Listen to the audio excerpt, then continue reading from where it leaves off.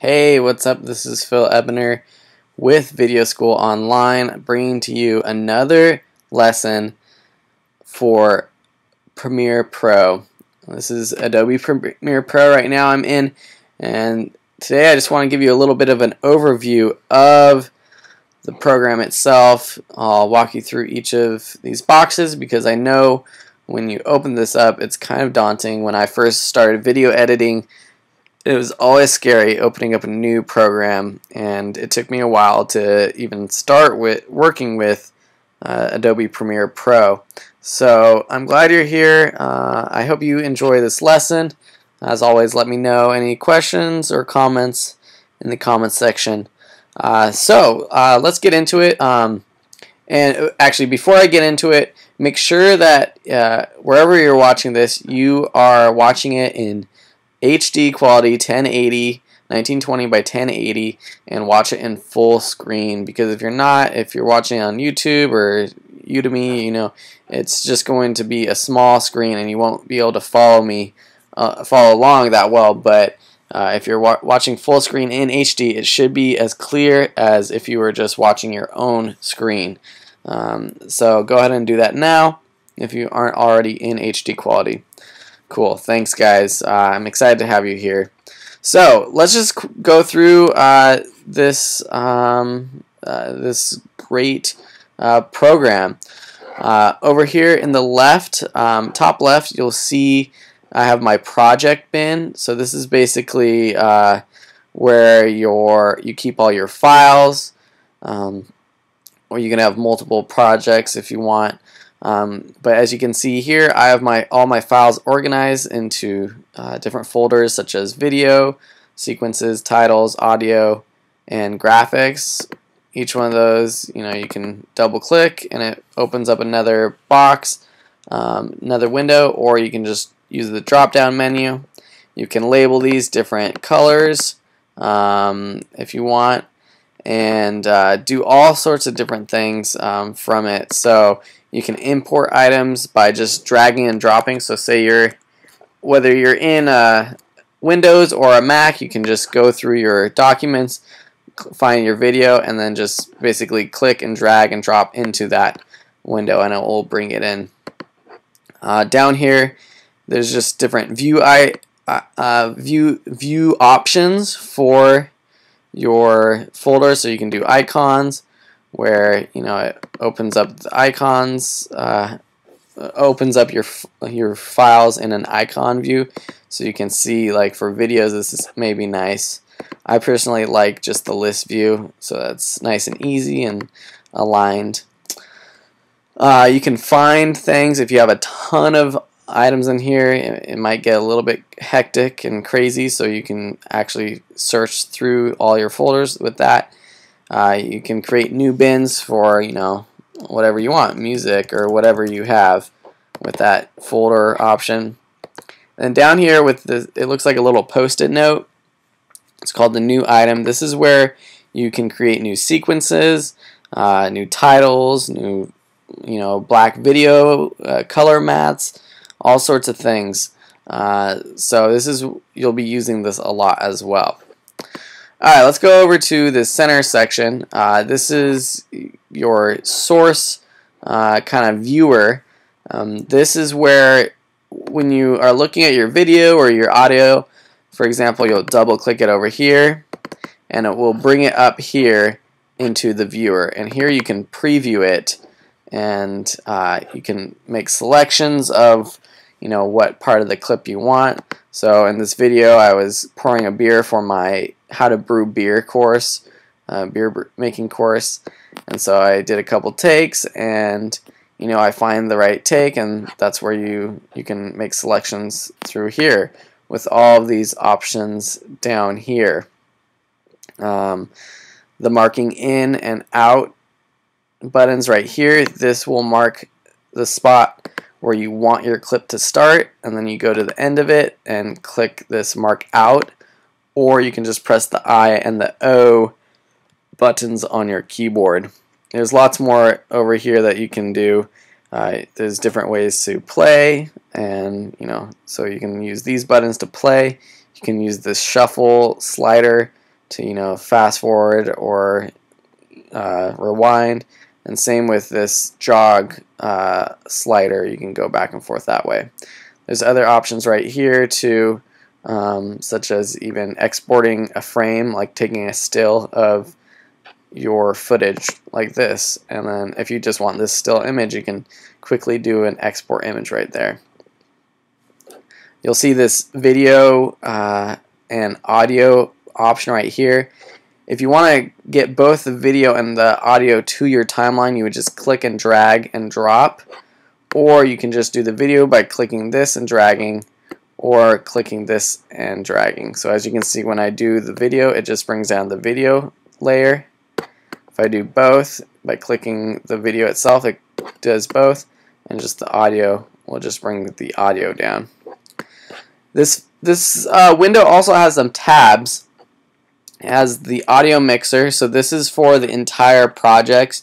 Uh, it's kind of the master mixer, so don't think that it's just for this clip or whatever clip that you have selected. This is for it's the master audio mixer, so you have the master track, and then you also have for each track you have uh, levels and you know different options to make it left or right speaker um, increase and decrease the levels and whatnot.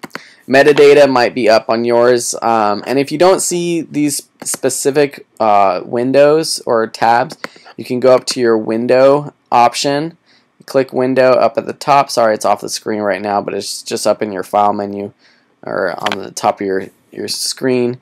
Go to window and then you can click on and off any of these uh, bins or folders or windows whatever you want to call them the effects control okay so metadata this uh, holds the metadata for whatever clip you are selecting. Um, so you know if there are there if there is metadata then you'll see it.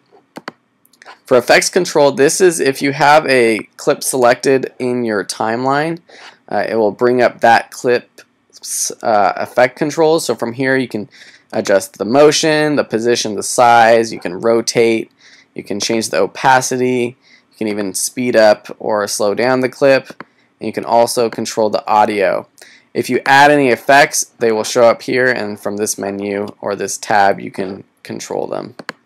Over here on the right, this is, uh, I guess, your canvas, I would call it.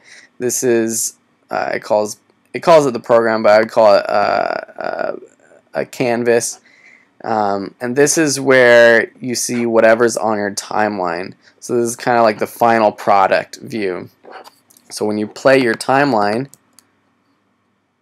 that gets into the beer, uh, the more chance for it to get you know certain bacteria. Or so there you have it. Like I was playing my course, and it was playing here in the canvas.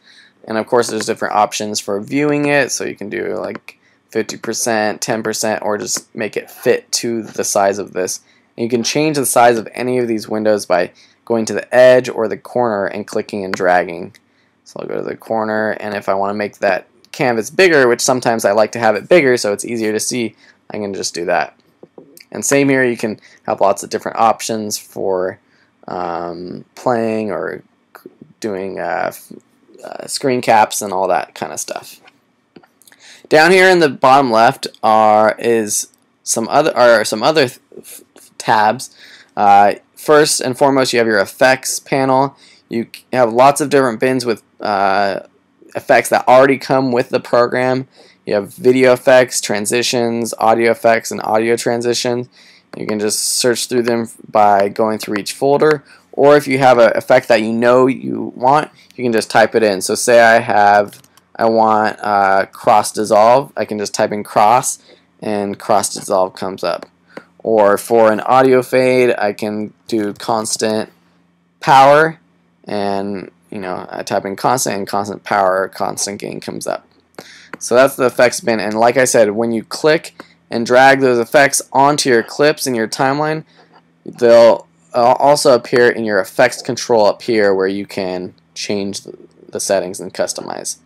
There's some of these other tabs like the media browser. This is actually kind of like in Mac your Finder or in Windows if you're looking through your, your computer or your documents.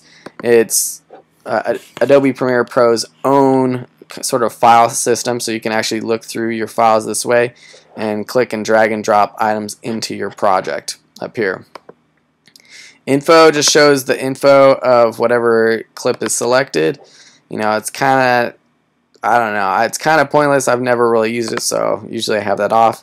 History, again, will, um, or not again, but this will show you all the edits that you've made and all the different things you have done. So you can go back to a certain um, edit that you did by double clicking and it'll go back to that item. Um, so that's awesome to do in case you've made a lot of changes but you you know you want to go back eh, back in time and rather than having to re-edit everything you can just go to your history and do that. The big thing is the timeline. This is where you lay out all of your footage. Um, you have different video tracks right here. Right now the standard is three. You have three audio tracks. You can zoom in on these using the scroll bar, the slider down here. So you can zoom in on the timeline. As you can see here for my video, I have you know my video down below. I have my titles and my effects up here. Um, and you can see the time up here. See, it goes on like 44 seconds, 59 seconds. Um, you can make these tracks larger or smaller by hitting this triangle and this allows you to see like the waveforms for the audio or you can see like parts of the video clip you can see the video clip uh, and an image from that video clip uh, so it's easy to tell what that clip is so you'll be spending a lot of time doing working with the timeline over here you have your uh, audio um, meters. So as you play your clip, you'll see this bouncing up and down. We have prepped our bottles, we've sanitized them, we added our sugar. Just like so. And that's great for, um, you know, obviously monitoring your audio. You definitely don't want it to be hitting up here and it'll go red if it's peaking and it will be distorted. Down here you have all your tools or you know, they might be up here as well. Um, these are all your tools for editing. You know, you have your sliders, your rolling edit tool, you have your your razor tool that helps you cut, you have your pen tool that will allow you, you to customize your own keyframes, zoom tool to, you know, you just click these and you can zoom in or zoom out of the timeline.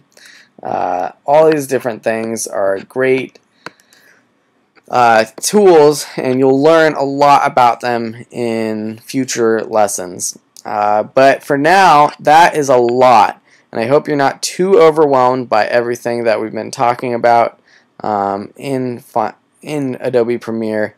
But uh, I think you guys got a good handle of it, and uh, for now, I'm going to leave it at that. Thank you guys for watching so much.